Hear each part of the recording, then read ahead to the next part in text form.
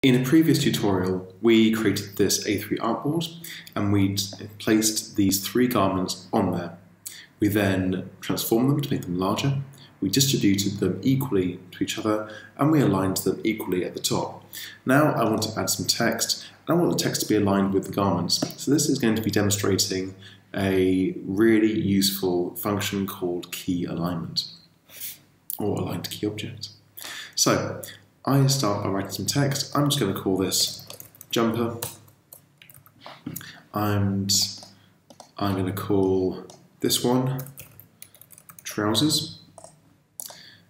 And clicking on the selection tool, clicking somewhere else, just deselect everything and make a final box, which I'm going to call lady top. Now, the thing to remember is that each of these text boxes, even though they're different sizes, they all have the same font, which is Myriad Pro, bold, size 40. That's not actually that important. You could choose any font style character, but the important thing is that it is centered as a paragraph.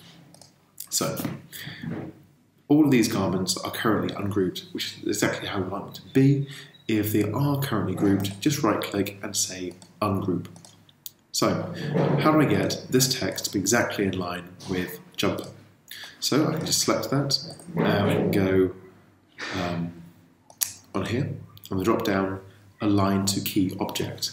Now, align to key object is where you say this object is the focus.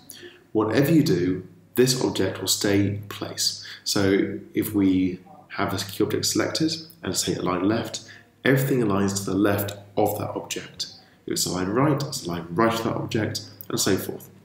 Now, I want the jumper to stay put and I want the text to be moving.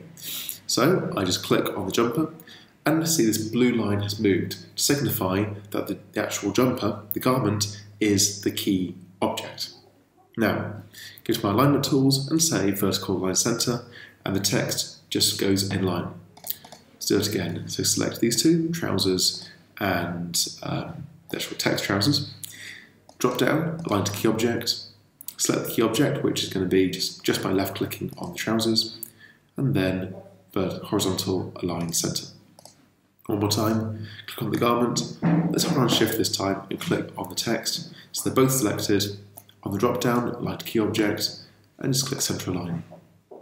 Now you see then, the text was selected as the um, key object, so I'm just going to undo that, which is Control Z, align to key object, select the garment, and then um, vertical horizontal line center. So we've now got all our text in line exactly with the garments, but I'm not too happy. I want all my text to be a nice line at the bottom. So if I select my three texts, so one, two, three, I can now start to align them. However, you can't see the alignment options at the top of the page. So if you click on here, the align text, the panel comes out and you can see exactly all the alignment options. So on the drop down, align to key object, I'm going to select trousers as my key object. So I'm ready to align. Click on the alignment text again and the alignment panel opens up. So if we say vertical align top, the top of the text boxes go to the top of the trouser text box. Short, they're all lovely and aligned. If I now just deselect, you can see that I've got my garments exactly in the center of the page. They're well distributed, they're well aligned, the text below is equal. I haven't done any measuring, this is all done through the alignment tool.